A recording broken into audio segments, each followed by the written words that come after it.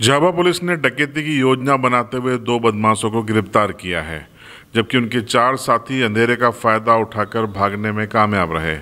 आज control room में आयोजित एक प्रेस कॉन्फ्रेंस में एसपी आशुतोष गुप्ता ने इन दोनों बदमाशों को मीडिया के सामने पेश किया, साथ ही ये खुलासा भी किया कि इन दोनों बदमाशों और उनके साथियों पर अस्सी हज़ार रुपये का इनाम घोषित था।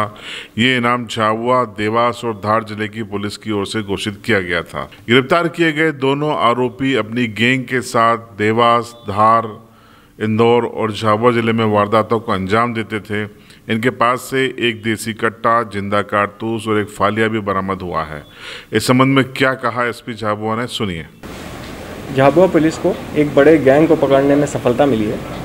इस गैंग के द्वारा देवास ज़िले में एक डकैती विद मर्डर की घटना कारित की गई। धार ज़िले में दो लूट की घटनाएँ और झाबुआ ज़िले में एक लूट की घटना, इनके द्वारा किया जाना, स्वीकार किया गया है। साथ ही साथ में मोटरसाइकिल चोरी में से अभी तक पाँच जो है चोरी की मोटरसाइकिल इनके द्वारा इनसे बरामद की जा चुकी है। आगे की विवेचना जारी है। और भी मोटरसाइकिलें और लूट की घटना इनके द्वारा की जा सकती हैं। करी जा, करी गई होंगी।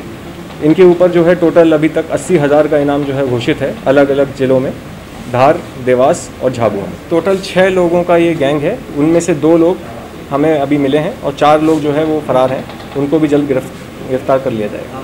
एक जो है बारह बोर की जो है गन मिली है इनके पास से और फलिया भी जो है इनके पास से जब्त किया गया। इसी को यूज़ करते हैं ये लोग अपनी घटना कारित करने में।